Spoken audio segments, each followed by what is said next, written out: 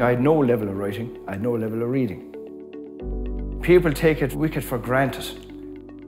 It signified to me embarrassment and a weakness I had.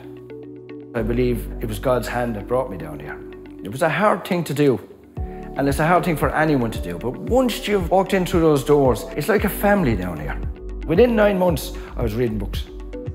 The feeling of, of pride, and that's all through this. It, it's not only because I learned how to read and write, but the confidence that gave me to do it. If reading, writing, maths, or technology is holding you back, take the first step. Free phone 1 800 20 20 65 or go to takethefirststep.ie for information on free courses and to see how we can help. Supported by the European Social Fund, SOLAS and NALA.